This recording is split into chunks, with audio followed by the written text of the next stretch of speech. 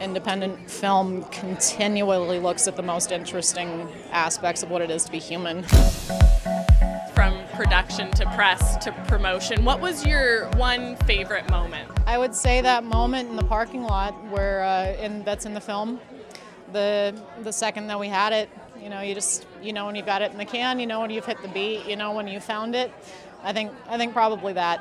Yeah. So what was the experience like that day on set? Windy. Very windy. We had some amazing sound people, Miss Heidi DeBose.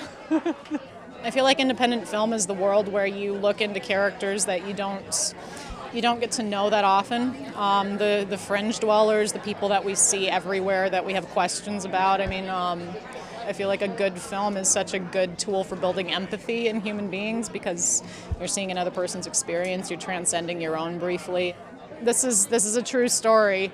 Uh, when I was 17, I was in um, my high school home ec class called it Contemporary Living, and we had to do it where you see yourself in 10 years. And I said, "Well, I don't think I'll have kids. I probably won't be married because I care more about my career."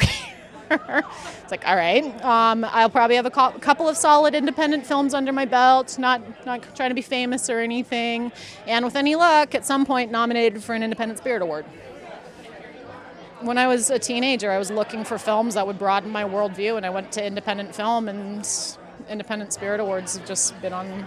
Yeah, you were a very prophetic teenager. Yep. Yeah.